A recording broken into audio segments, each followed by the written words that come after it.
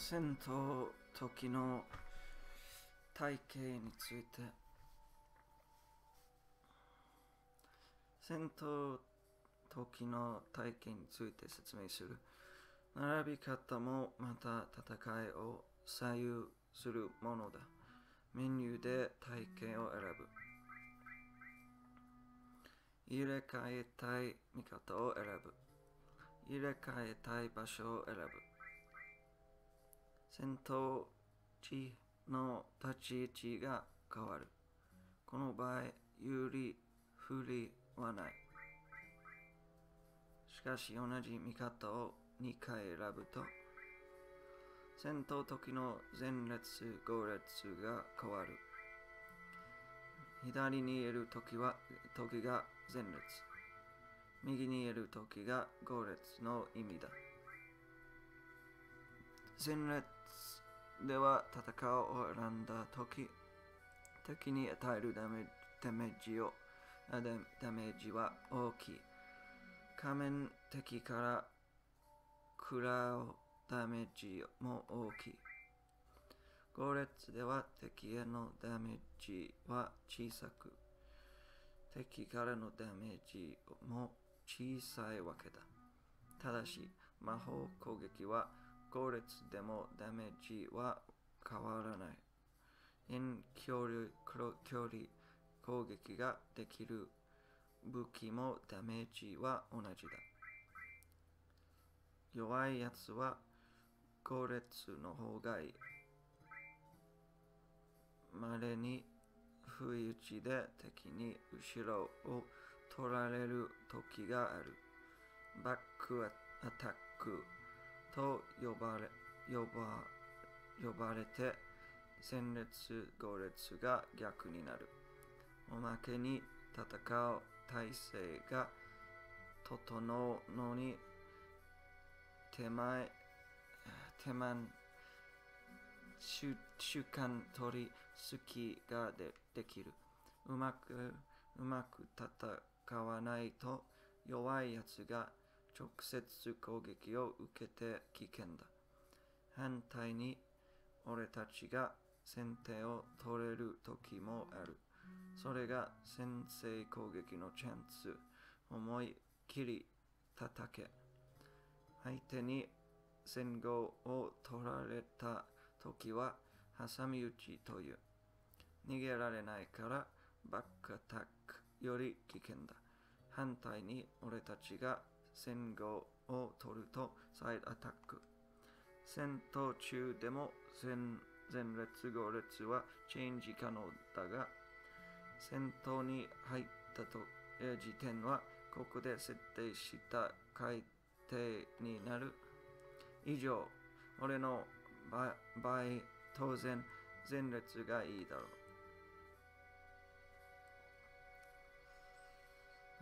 現在の自分の状態をチェック。自分の現在の状態を知るのも戦いの基本だ。メニューのステータスを見てくれ。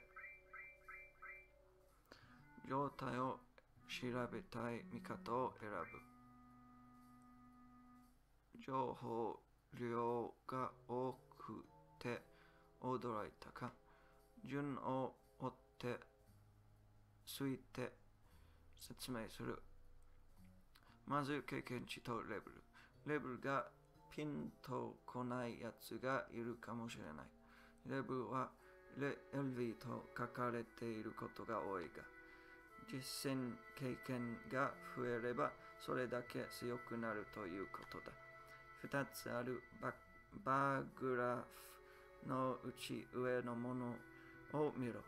次のレベルまでどのくらいか知ることができる。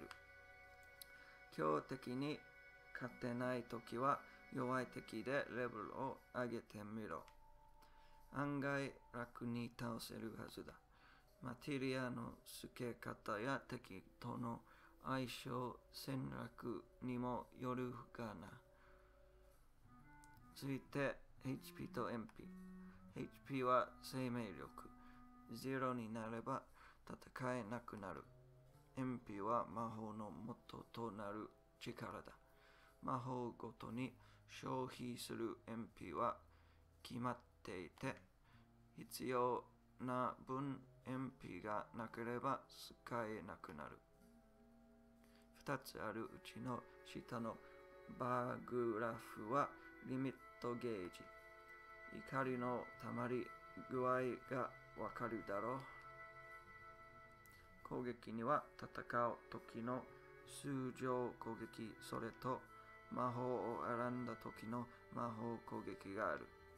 それぞれに攻撃6、防御、力、回避率があるわけだが、レベル、武器、防具、マテリアにより決まってくる。すべてを総合した結果が、結果が下の一覧、一覧だ。そして戦闘時に使えるコマンド。現在装備中の武器と防具、アクセサリーだ。ここでもう一度決定ボタン。攻撃にはいろいろな種類があり、属性と追加効果と言われている。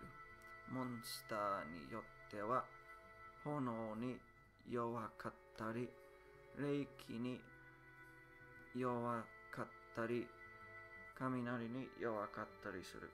マテリアアクセサリーによってこうした属性を攻撃に加えたり、敵からの属性攻撃を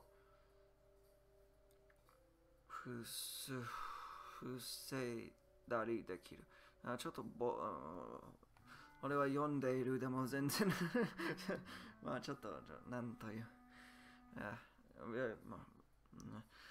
何やら字がたくさん出ているが、ビビることはない。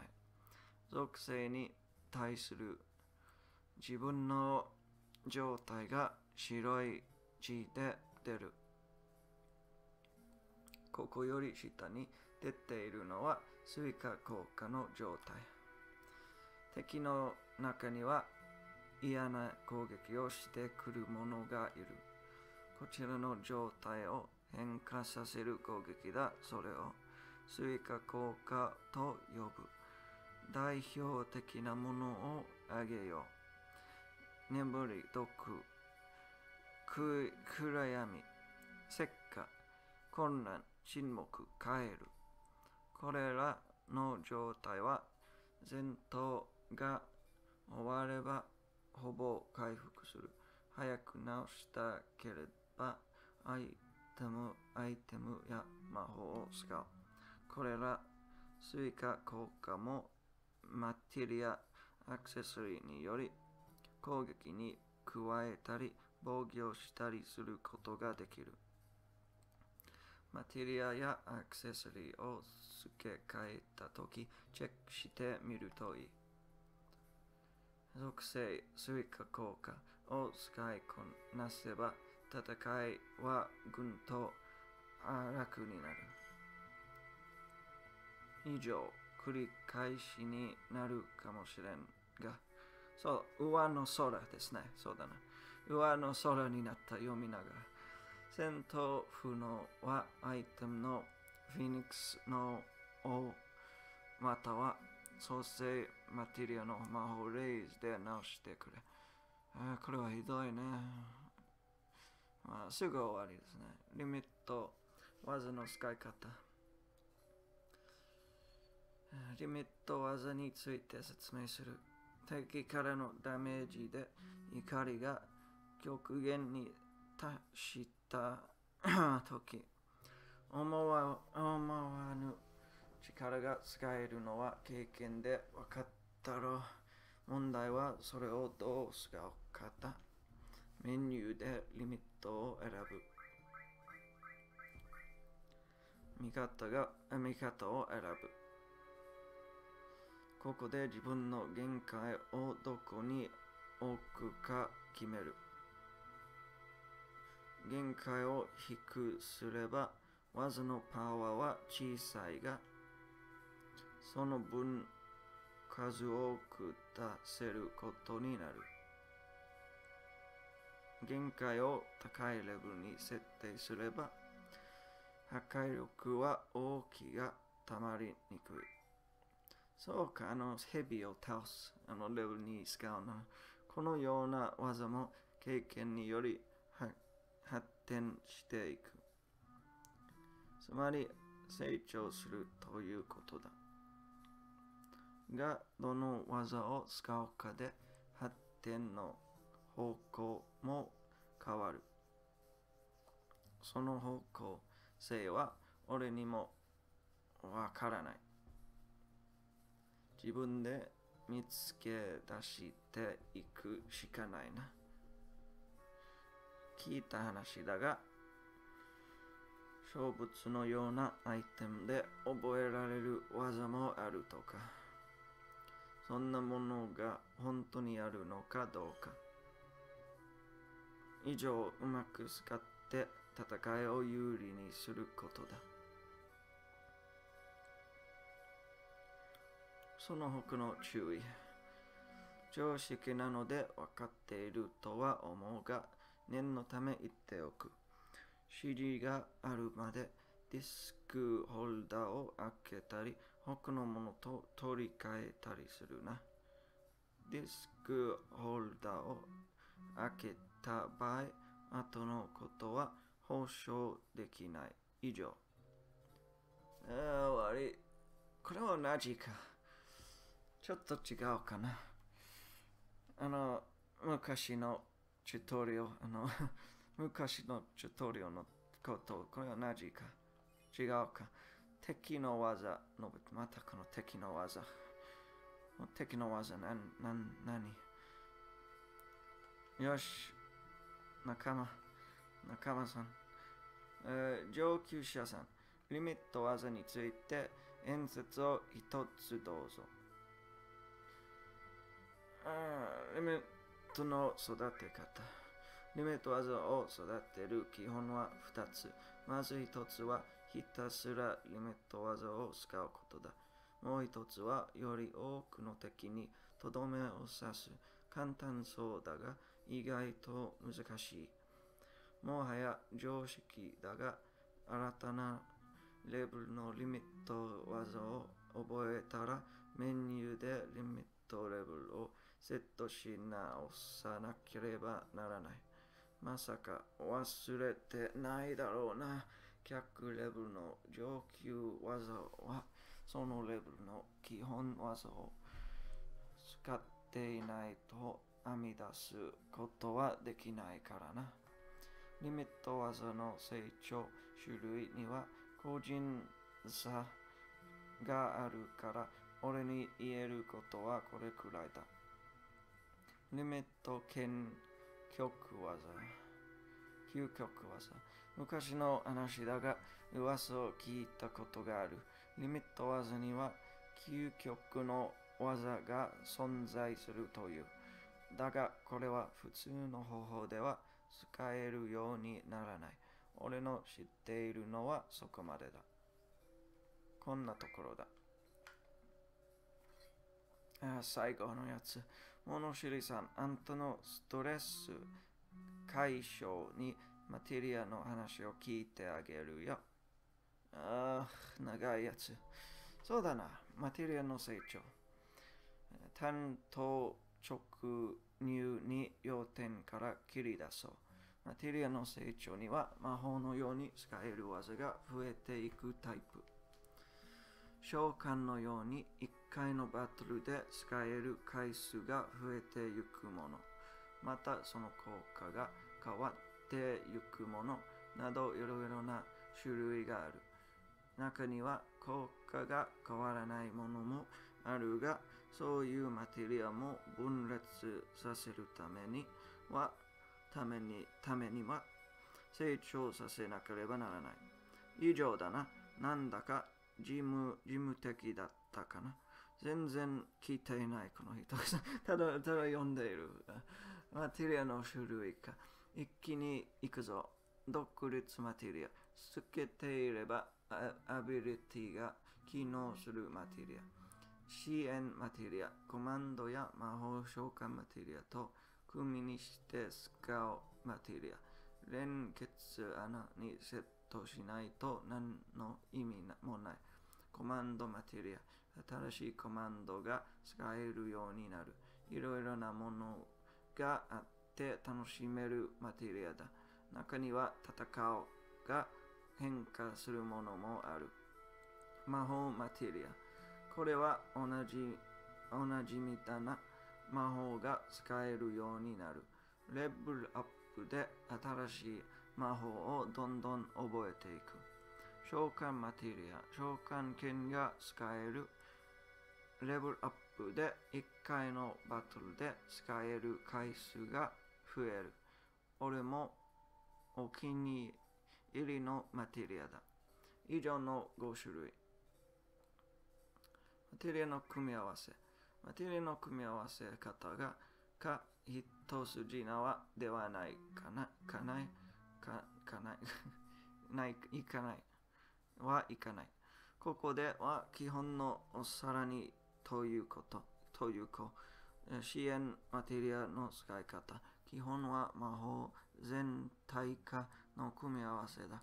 魔法をレベルアップすると魔法の種類が増える。全体化をレベルアップすると1回のバトルで全体化できる回数が増える。まあそんなところだ。組み合わせの高度な使い方としては属性魔法召喚がある。この組み合わせを武器に装備すると魔法や召喚の属性を武器には武器に立つけることができる。例えば炎属性を足す属性を剣を装備すれば非属非属性、可属性の剣が出来上がるというわけだ。さらに話はそれるが、それるが、炎を足す属性を防具に防具に装備すれば、炎のダメージ半減の防具になる。ポイントはここだな。防具に限っては、さらにお得なとことに、属性がレベルアップすれば、半減、無効、水球、吸水、吸効、吸水と効果が上がるのだ。だがレベルアップした属性と炎を組み合わせれば炎の吸収する防具も優れるというわけだ。さらに続けるとしよう。追加効果の支援マテリアの使い方だ。追加効果マテリアは組み合わせたステータス変化系のマテリアの効果を武器や防具には立つけるためのものだ。例えば、追加効果足す毒を武器につければ、戦うでは攻撃した時に追加効果として毒のステータス以上、以上、以上、以上、以上を引き起こすことが可能だ。もちろん成功しない時もあるがな。追加効果のマテリアは惑わすや時間などステータス変化系のマテリアと組み合わせなければ意味がない。追加効果を細かく知りたければメニューを開いてステータスをチェックしろ。内容はハードだが落ち着いて考えれば大丈夫だ。あ、ひどいやつ。メテリアの何か分裂。分裂か。俺もこれが得意だな。俺はよく性格が分裂していると言われる。自分ではそのつもりはないが、あるいは今もそうかもしれない。話を元に戻そう。マテリアは高最高 LV にレブに達すると分裂する。元のマテリアはもうそれ以上成長しなくなる。そうなったら、あとはただ使うだけだ。新たな新たに生まれたマテリアは AP が0に状態なのでこちらは育てなければならない。もちろん分裂して生まれたマテリアも最高レベルに達達するとまた分裂する。こうしてマテリアを増やしていくんだな。くくく、なんだか俺もすっかり分裂気分だな。だよ。持ってるマテリアの数。分裂してマテリアが増え始めたら注意が必要だ。マテリアの持ってる数には制限がある。なぜなら俺たちは名目、名目、名目、名目上星の命を守るために、ために戦っている。ゆえに、マテリアの持ちすぎは理念に反している。もちろんこれは俺の考えじゃない。誰かが言い出したかは想像に任せるよ。というわけで、持てるマテリアの数は200個と俺たちが身につけている分だけだ。マテリアがいっぱいの時は一度マテリアを手離してから出ないと拾うこともできないし、買うこともできない。そんな時は先にマテリアを捨てる。ふ、星に返してやってくれ。あとは秘密だ。え？あとは秘密だ何？面白いさん。え、クラウド、このことを説明している。クラウドひどい。もう、ひどいやつ、クラウド。あの、前か。興味ない。よし、この、この地獄、この地獄の地下室出よ。ああ、終わった。ひどいところだった。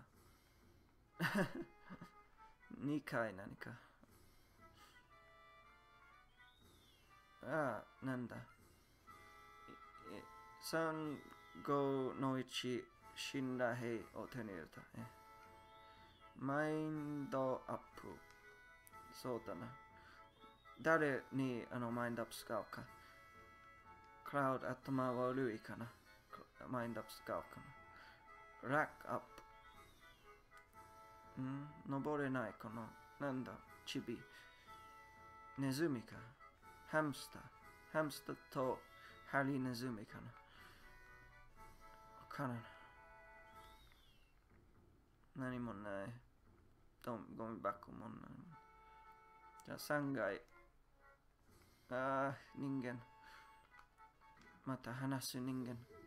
ワンワン。これはワンワンかな。え、猫？猫かな。あパワーアップ。あ、そう、ドローボクラウド聞いた。ドローボクラウドの出番。うん、自分はパレードなんて行きませんよ。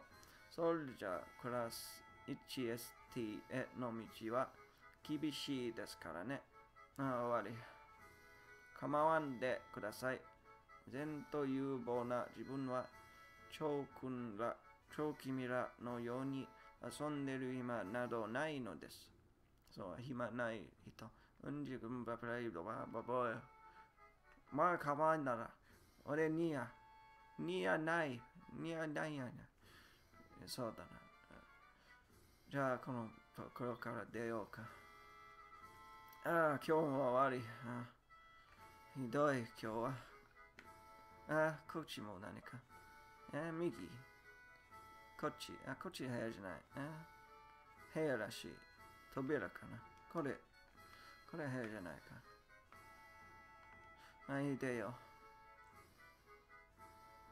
ん今日は終わり。えー、カツインかな。この道から会計何もない。こっち何もないかな。はい。ワン、あ、ワンワン。ワンワン。ワン、ワンワン。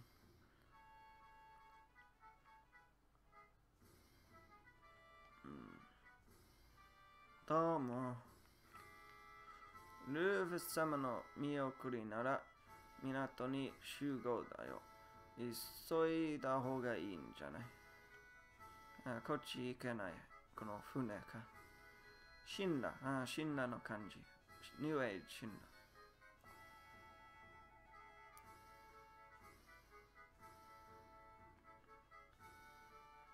えー、よし。まっすぐか。まあいい、ここまでいいかな。まあ、とりあえずまっすぐ。あー、くそ。まっすぐじゃないね。最初に知ったかな。これ何？街。えー、まあ次回このやつからかな。はい。